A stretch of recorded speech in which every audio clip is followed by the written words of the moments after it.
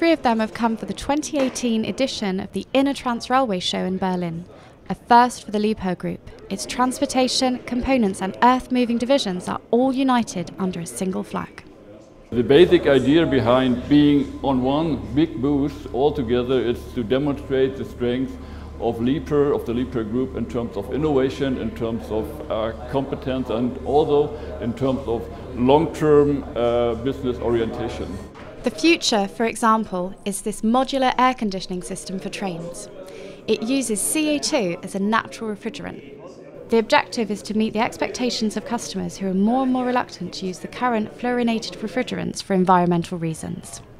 The business unit combustion engines are part of the Liebherr Components division. It's responsible for the development and production of diesel engines, also for the railway industry. A good example is the six cylinder diesel engine that has been mutually developed by Liebherr and Voith and unveiled at the InnoTrans show. With up to 480 kilowatts power input, the engine delivers significantly more power than similar engines of the class.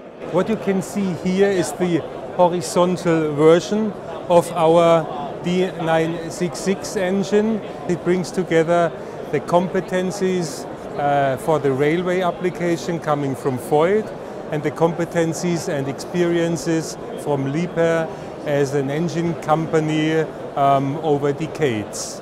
Liebherr is a key player on construction sites and has been for decades thanks to its backhoe loaders.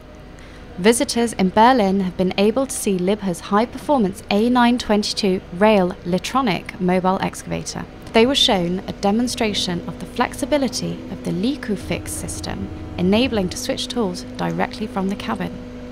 The main customer is the Deutsche Bahn. They give money to repair the rail here in Germany.